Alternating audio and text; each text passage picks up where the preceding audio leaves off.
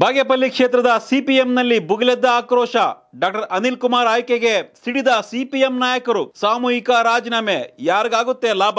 ಈ ಕಾರ್ಯಕ್ರಮದ ಪ್ರಾಯೋಜಕರು Jini millet health mix. Jini ಕುಡಿಯಿರಿ ಆರೋಗ್ಯವಾಗಿರಿ. ಈ ಕಾರ್ಯಕ್ರಮದ ಸಹ ಪ್ರಾಯೋಜಕರು ಸ್ಮಯಾ ಪ್ರಾಪರ್ಟೀಸ್.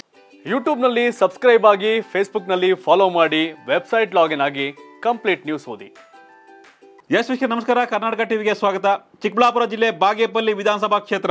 ಈ ಬಾರಿ ಸಾಕಷ್ಟು ಕುತೂಹಲವನ್ನ ಮೂಡಿಸ್ತಾ ಇದೆ. ಈಗಾಗಲೇ ಅಲ್ಲಿ ಸಿಪಿಎಂ ಪಕ್ಷದಿಂದ ಡಾಕ್ಟರ್ ಅನಿಲ್ ಕುಮಾರ್ ಘೋಷಣೆ ಆಗಿದೆ, ಸ್ಪರ್ಧೆ ಮಾಡ್ತಾರೆ, ಕ್ಯಾಂಪೇನ್ ಕೂಡ ಮಾಡ್ತಾ ಇದ್ದಾರೆ. ಆದರೆ ಈ ನಡುವೆ ಬಾಗೇಪಲ್ಲಿ, ಗುಡಬಂಡೆ ಮತ್ತು ಗೌರಿಬಿದ್ದೂರು ಈ ತಾಲೂಕುಗಳ ಸಿ ಪಿ ಎಮ್ನ ಘಟಕದಲ್ಲಿ ಆಕ್ರೋಶ ಬುಗಿಲೇಳ್ತಾ ಇದೆ. ಸಾಕಷ್ಟು ಮಂದಿ ರಾಜೀನಾಮೆಯನ್ನ ಘೋಷಣೆ ಮಾಡಿದ್ದಾರೆ.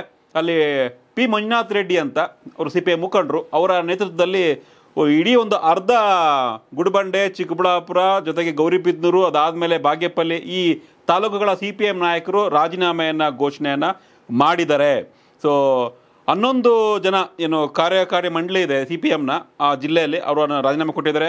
ಐದು ತಾಲೂಕು ಸಮಿತಿ ಕಾರ್ಯದರ್ಶಿಗಳು ರಾಜೀನಾಮೆ ಕೊಟ್ಟಿದ್ದಾರೆ. ಎಲ್ಲ ರಾಜೀನಾಮೆ ಕೊಟ್ಟು ಅನಿಲ್ ಕುಮಾರ್ಗೆ ಟಿಕೆಟ್ ಕೊಡಬಾರ್ದಾಗಿತ್ತು. ಈ ಹಿಂದೆ ಶಾಸಕರಾದ ಶ್ರೀರಾಮ್ ರೆಡ್ಡಿ ವಿರುದ್ಧ ಇವರು ಸಂಚು ರೂಪಿಸಿದ್ರು ಶ್ರೀರಾಮ್ ರೆಡ್ಡಿ ಪಕ್ಷದಿಂದ ಹೊರಗಡೆ ತಳ್ಳೋದಕ್ಕೆ, ಅವ್ರ ಮೇಲೆ ವಿನಾಕಾರಣ ಆರೋಪ ಮಾಡೋದಕ್ಕೆ ಇವರೆಲ್ಲ ಟೀಮ್ ಕಾರಣ. ಅಂಥವ್ರಿಗೆ ಟಿಕೆಟ್ ಕೊಟ್ಟು ಇವತ್ತು ಪಕ್ಷದ ಒಂದು ಏನು ಒಳ್ಳೆ ಅಭಿಪ್ರಾಯ ಇತ್ತು ಅದನ್ನು ಹಾಳು ಮಾಡಿದ್ದಾರೆ. ನಾವ್ಯಾರು ಕೂಡ ಸಪೋರ್ಟ್ ಮಾಡಲ್ಲ ಅಂತ ರಾಜೀನಾಮೆಯನ್ನು ಕೊಟ್ಟಿದ್ದಾರೆ. ಸಿ ಪಿ ಎಂ ಪಕ್ಷದ ಏನು ಸಿದ್ಧಾಂತ ಇತ್ತು ಎಲ್ಲವನ್ನು ಕೂಡ ಹಾಳು ಮಾಡಿದ್ದಾರೆ. ಇದು ಸರಿಯಲ್ಲ ಅನ್ನೋದು ಸಿ ಪಿ ಎಂ ಪಕ್ಷದಲ್ಲಿ ಇರ್ತಕ್ಕಂಥ ಮುಖಂಡರ ಮಾತು ಕೆಲವರ ಹ್ಮ್. ಕೆಲವರ ಕೆಲವರ ಅಭಿಪ್ರಾಯ. ಎಲ್ಲ ಪಾರ್ಟಿಲಿ ಇದ್ದಂಗೆ ಇದ್ದೇ ಇರುತ್ತೆ ಬಟ್ ನಡೀತಾ ಇರುತ್ತೆ ಬಟ್ ಸಿ ಪಿ ಎಂ ಶಿಸ್ತು ಒಂದು ಮಾಡ್ಕೊ ಒಂದು ನಿರ್ಧಾರ ಮಾಡಿದ್ಮೇಲೆ ಚೆನ್ನಾಗಿ ನಡ್ಕೊಂಡು ಹೋಗುತ್ತೆ ಅವರ ನಿರ್ಧಾರಗಳು ಸರಿಯಾಗಿರ್ತವೆ ಅವ್ರು ಯಾರು ಶೋಕಿಗೆ ಸರ್ಕಾರ ಮಾಡಿದವ್ರಲ್ಲ ಶೋಕಿಗೆ ರಾಜಕಾರಣ ಮಾಡ್- ಮಾಡಿದವರಲ್ಲ ಕಾರ್ಮಿಕರ ಪರ ರೈತರ ಪರ ಹಸಿದವರ ಪರ ಶೋಷಿತರ ಪರವಾಗಿ ಅವ್ರು ಹೋರಾಟ ಮಾಡ್ತಾರೆ. ಪಾರ್ಟಿ ಒಂದಷ್ಟು ಕಡೆ ಬೇರೆ ರಕ್ತ ಸಿಕ್ತ ಅಧ್ಯಾಯಗಳು ಸಾವಿರ ಇರ್ಬೋದೇನೋ. ಅದನ್ನ ಹೊರತುಪಡಿಸಿ ನಮ್ಮ ಕರ್ನಾಟಕದ ವಿಚಾರ ಬಂದರೆ ಬಾಗೇಪಲ್ಲಿ ಬಂದಾಗ ಇಟ್ಸ್ ಗುಡ್ ನಡೀತಾ ಇರುತ್ತೆ.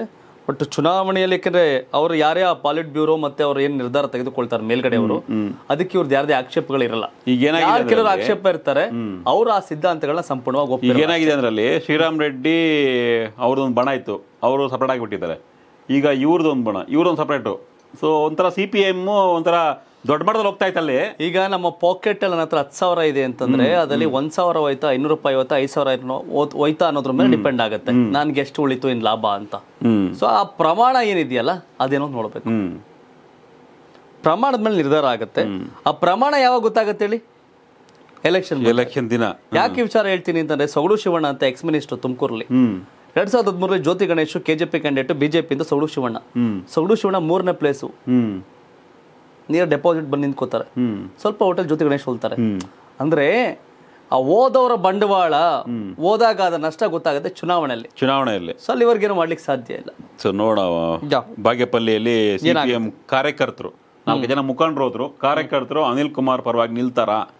ಏನು ಅಂತ? ಎಸ್ ನೀವು ಬಾಗೇಪಲ್ಲಿ ವಿಧಾನಸಭಾ ವೀಕ್ಷಕರಾಗಿದ್ರೆ ಕ್ಷೇತ್ರದ ಮತದಾರರಾಗಿದ್ರೆ ನಿಮ್ಮ ಕ್ಷೇತ್ರದ ಎಂ ಎಲ್ ಎ ಯಾರು ಆಗಬೇಕು ಸೊ ಕಮೆಂಟ್ ಮಾಡಿ. ಜೊತೆಗೆ ರಾಜ್ಯದ ಮುಖ್ಯ ಮುಂದಿನ ಮುಖ್ಯಮಂತ್ರಿ ಯಾರು ಆಗಬೇಕು ಯಾವ ಸರ್ಕಾರ ಬಂದರೆ ಚೆನ್ನಾಗಿರುತ್ತೆ ಅಂತ ನಿಮ್ಗೆ ಅನಿಸುತ್ತೆ ಎಲ್ಲವೂ ಕೂಡ ಕಮೆಂಟ್ ಮಾಡಿ. ಜೊತೆಗೆ ನಮ್ಮ ಕರ್ನಾಟಕ ಟಿವಿಯ ಕಳಕಳಿ ಒಳ್ಳೆಯ ಅಭ್ಯರ್ಥಿಯನ್ನು ಆಯ್ಕೆ ಮಾಡಿ, ಭ್ರಷ್ಟರನ್ನು, ಲಂಚ್ಕೋರರನ್ನು ಆಯ್ಕೆ ಮಾಡಬೇಡಿ. ಯಾರು ನಿಮ್ಮ ಕ್ಷೇತ್ರವನ್ನು ಅಭಿವೃದ್ಧಿ ಮಾಡ್ತಾರೆ, ಉದ್ಧಾರ ಮಾಡ್ತಾರೆ ಅನಿಸುತ್ತೆ. ನಿಮ್ಮ ಕಷ್ಟ ನೋವುಗಳಿಗೆ ಯಾರು ಸ್ಪಂದಿಸ್ತಾರೆ ಅನಿಸುತ್ತೆ ಅಂಥವ್ರನ್ನು ಆಯ್ಕೆ ಮಾಡಿ, ಅವ್ರಿಗೆ ಓಟ್ ಹಾಕಿ ವಿಧಾನಸೌಧಕ್ಕೆ ಕಳಿಸಿ. ಇದು ಕರ್ನಾಟಕ ಟಿವಿಯ ಕಳಕಳಿ. ಧನ್ಯವಾದಗಳು. ಇದು ಕರ್ನಾಟಕ ಟಿವಿ. ಕನ್ನಡಿಗರ ಧ್ವನಿ.